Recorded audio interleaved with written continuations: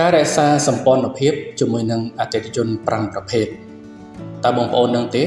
ការរក្សាសម្ព័ន្ធភាពជាមួយនឹងអតិថិជន គឺជាចំណុចពិសេសសម្រាប់អាជីវកម្មឬក៏ប្រតិបត្តិការទៅលើការលក់នៅផលិតផលឬក៏សេវាកម្មរបស់បងប្អូន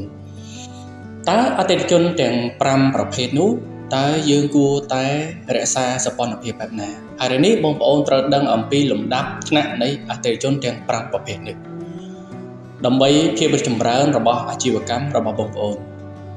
អតិថិជនដែលយើងត្រូវថែរក្សាទី1នោះគឺអតិថិជនដែលជា fan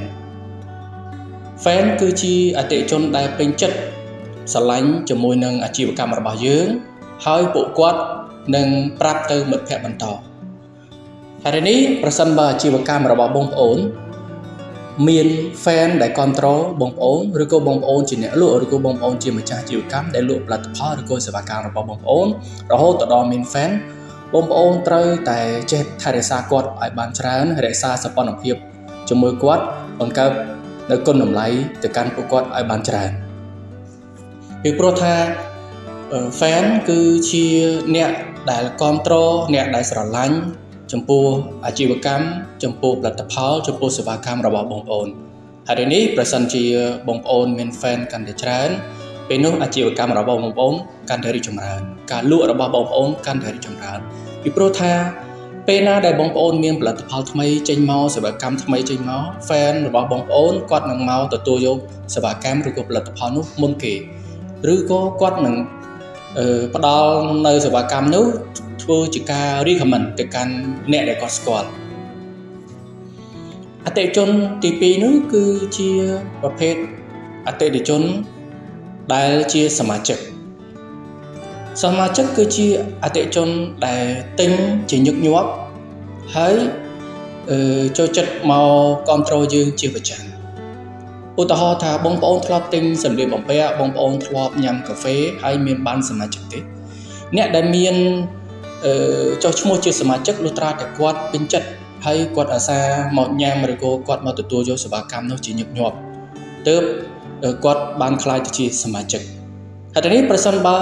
បងប្អូនជាអ្នកលក់បងប្អូនជាអ្នកធ្វើទីផ្សារឬក៏បងប្អូនជាម្ចាស់អាជីវកម្មឬក៏ផលិតផលឬក៏សេវាកម្មរបស់បងប្អូនមានសមាជិក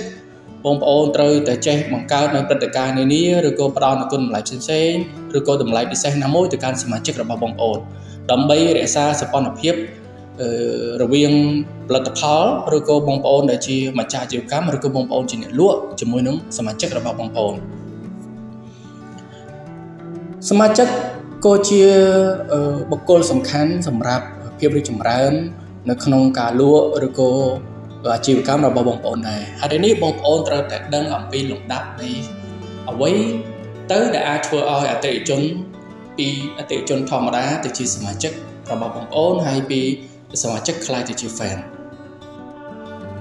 អតិថិជនទី3គឺជាប្រភេទអតិថិជនដែលមានភក្ដីភាពអតិថិជនដែលមានភក្ដីភាពគឺចង់សំដៅទៅដល់ប្រភេទអតិថិជនដែលគាត់ទទួលយកសេវាកម្មឬឬក៏ផលិតផលរបស់បងប្អូនឬក៏គាត់បានមកទិញ ជាញឹកញាប់ដូចគ្នាប៉ុន្តែគាត់ទទួលបាននូវបទពិសោធន៍ល្អជាមួយនឹងផលិតផលរបស់បងប្អូនហើយនេះគាត់មានភក្ដីភាពនៅពេលដែលគាត់ទទួលបានបទពិសោធន៍ល្អពីការទិញនៅផលិតផលដែលមានគុណភាពសេវាកម្មដែលល្អសេវាកម្មរួសរាយរាក់ទាក់អ្វីដែលបងប្អូនផ្ដល់ជូនទៅកាន់គាត់ហើយនេះនៅពេលដែលគាត់នឹកឃើញនៅអ្វីដែលគាត់ចង់បានគាត់នឹងឃើញនឹកឃើញនៅ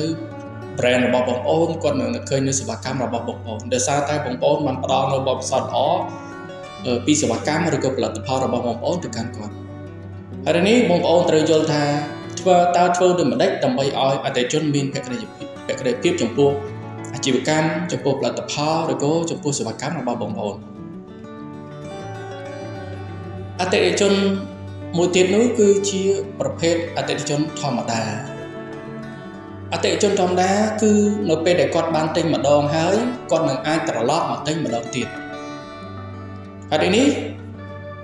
បងប្អូនត្រូវដឹងអំពីកម្រិតនៃប្រភេទអតិថិជនរបស់បងប្អូនបើសិនជាបងប្អូនទទួលបាននៅប្រភេទអតិថិជនធម្មតាបងប្អូនត្រូវតែព្យាយាមជំរុញសពន្ធភាពជាមួយគាត់ឲ្យបានច្រើនដើម្បីឲ្យគាត់ក្លាយទៅជាអតិជនដែលជាសមាជិកឬក៏ខ្លាយទៅជា fan របស់បងប្អូន អតិជនធម្មតាគឺជាប្រភេទអតិជនដែលងាយនឹងទិញម្ដងហើយឬក៏ឈប់ទិញតែម្ដងគឺជាប្រភេទអតិជនដែលមកទទួលយកសេវាកម្មបងប្អូនដំបូងបំផុតនៃអ្វីដែលគាត់ចង់បានមិនថាជាសេវាកម្មឬក៏ផលិតផលនោះទេគាត់អាចជាអ្នកមកតេស្តសាកល្បងនៅផលិតផលឬក៏សេវាកម្មរបស់បងប្អូនប្រសិនជាគាត់ត្រូវចិត្តគាត់នឹងអាចត្រឡប់មកទិញម្ដងទៀតតែនេះបងប្អូនដែលជាម្ចាស់ជីវកម្មឬក៏ជាអ្នកលក់ ត្រូវតែប្រុងប្រយ័ត្នជាមួយនឹងអតិជនដែលទើបតែមកទទួលនៅផលិតផលឬក៏សេវាកម្មរបស់បងប្អូនដំបូងអតិជនប្រភេទនេះគឺត្រូវការការយកចិត្តទុកដាក់ខ្ពស់ទៅកាន់ពួកគាត់ហើយនេះប្រសិនជាបងប្អូនដឹងថាអតិជនប្រភេទមួយណាដែលចូលមកកាន់ showroom ចូលមកកាន់នៅហាងចូលមកកាន់នៅក្រុមហ៊ុនរបស់បងប្អូនដែលជាប្រភេទអតិជនធម្មតាឬក៏អតិជនថ្មីបងប្អូនត្រូវតែចេះយកចិត្តទុកដាក់ត្រូវតែចេះទទួលស្វាគមន៍មកគាត់បានល្អ ហើយត្រូវផ្ដល់គុណតម្លៃនិងព័ត៌មាននៅអ្វីដែលគាត់ចង់បានហើយអតិជនមួយទៀតគឺជាប្រភេទអតិជនដែលអនាគតឬក៏យើងហៅថាអនាគតអតិថិជន គឺចង់សម្ដៅដល់អតិថិជនដែលគាត់មិនទាន់ទិញអតិថិជនប្រភេទនេះគឺជាប្រភេទអតិថិជនដែលកំពុងតែស្វែងរកផលិតផលឬក៏សេវាកម្មណាមួយដែលអាចដោះស្រាយនៅបញ្ហាដែលគាត់កំពុងជួបប្រទះ ឬក៏គាត់កំពុងតែពិចារណានៅជំរើសណាមួយអតិថិជនប្រភេទនេះយើងហៅមួយទៀតហៅថា lead ក៏បានដែលយើងហៅថា lead គឺជាប្រភេទអតិថិជនដែលមិនទាន់ទិញហើយក៏មានច្រើនដូចគ្នានៅក្នុងប្រតិបត្តិការនៃការលក់និងការធ្វើទីផ្សារពេលណាដែលបងប្អូនជួបប្រភេទអតិជនប្រភេទនេះរឿងដំបូងបំផុតដែលបងប្អូនត្រូវតែធ្វើនោះគឺព្យាយាមសួរសំណួរហើយនឹងស្ដាប់គាត់ឲ្យបានច្រើន នៅអ្វីដែលជាបញ្ហាដែលគាត់កំពុងតែមករកសេវាកម្មឬក៏ផលិតផលរបស់បងប្អូនតើគាត់កំពុងតែជួបបញ្ហាអ្វីតើគាត់កំពុងតែមានតម្រូវការអ្វីហើយសេវាកម្មឬក៏ផលិតផលរបស់បងប្អូននឹងអាចជួយដោះស្រាយអ្វីខ្លះទៅកាន់គាត់ហើយនេះអតិជនប្រភេទនេះគឺត្រូវការការប្រឹក្សាយោបល់ឲ្យបានយកចិត្តទុកដាក់ការប្រឹក្សាយោបល់ឲ្យបានច្រើន ជាយាមស្វែងរកនៅចំណុចដែលគាត់កំពុងតែជួបបញ្ហាឬក៏ចំណុចដែលគាត់កំពុងពិចារណាទៅលើការទិញលើផលិតផលឬក៏សេវាកម្មរបស់បងប្អូនហើយអ្វីដែលជាទុនទីរបស់បងប្អូនទៅកាន់អតិជនប្រភេទនេះគឺបងប្អូនព្យាយាមស្ដាប់គាត់ឲ្យបានច្រើននៅសុខទុក្ខអ្វីដែលគាត់ចង់មកនិយាយជាមួយបងប្អូននៅពេលដែលគាត់ដើរមើលផលិតផលរបស់បងប្អូនបងប្អូនត្រូវស្ដាប់គាត់ កុំព្យាយាមនិយាយកាត់គាត់កុំព្យាយាមប្រញាប់តក់កុហលបង្ហាញអំពីផលិតផលរបស់បងប្អូនថាមានលក្ខណៈបែបនោះបែបនោះបែបនេះបែបនោះមុននឹងពេលដែលគាត់បង្ហាញនៅក្តីបារម្ភឬក៏មុននឹងពេលដែលគាត់បង្ហាញនៅតម្រូវការណាមួយមកកាន់បងប្អូនចូលកុំធ្វើជាអ្នកលក់បែបតក់ក្រហល់ចូលកុំធ្វើជាអ្នកលក់ដែលព្យាយាមនិយាយកាត់អតិជនចូលកុំធ្វើជាព្យាយាមអ្នកលក់និយាយ ព្យាយាមបង្ហាញនៅលក្ខខណ្ឌណាមួយបែបខ្សែលើឬក៏បង្ខំឲ្យអតិជនការលួចបែបនេះគឺអតិជននឹងមិនទិញនោះទេគាត់នឹងប្រើពាក្យថាចាំគិតមើលសិនជាពិសេសពេលដែលបងប្អូនជួបជាមួយប្រភេទអតិជនដែលជាប្រភេទអតិជនចុងក្រោយនេះដែលយើងហៅថាអតិជនទិញនៅពេលអនាគតឬក៏អនាគតអតិជនហើយនេះអតិជនទាំង5ប្រភេទនេះគឺ មានចំណុចសំខាន់ហើយសំខាន់ដូចគ្នាទៅកាន់បងប្អូនព្រោះថាអតិជន គឺមានលំដាប់ចាប់តាំងពីលេខ5រហូតដល់ទី1រហូតដល់ពីអតិជនអនាគតទៅជាអតិជនខ្លាយទៅជា fan ឬក៏អតិជនដែល មានតក្តីភាពចំពោះអាជីវកម្មរបស់បងប្អូនហើយនេះតើបងប្អូនត្រូវធ្វើបែបណាដើម្បីរក្សាសុខភាពជាមួយអតិជនទាំង5ប្រភេទនេះអ្វីដែលជាទូនាទីរបស់បងប្អូនគឺបងប្អូនត្រូវតែមាន ផ្ដល់នូវគុណតម្លៃបងប្អូនផ្ដល់នូវដំណោះស្រាយដ៏ល្អទាំងគុណភាពទាំងសេវាកម្មហើយនឹងការទំនាក់ទំនងដ៏ល្អប្រសើរចំតម្រូវការរបស់អតិថិជនហើយព្យាយាមនៅបង្ហាញនៅអ្វីដែលជាភាពល្អប្រសើរជាពិសេសធ្វើឲ្យអឺភាពរីកចម្រើនទៅកាន់អតិថិជនរបស់យើងពេលនោះអតិថិជនរបស់យើងគាត់នឹងបន្តអឺ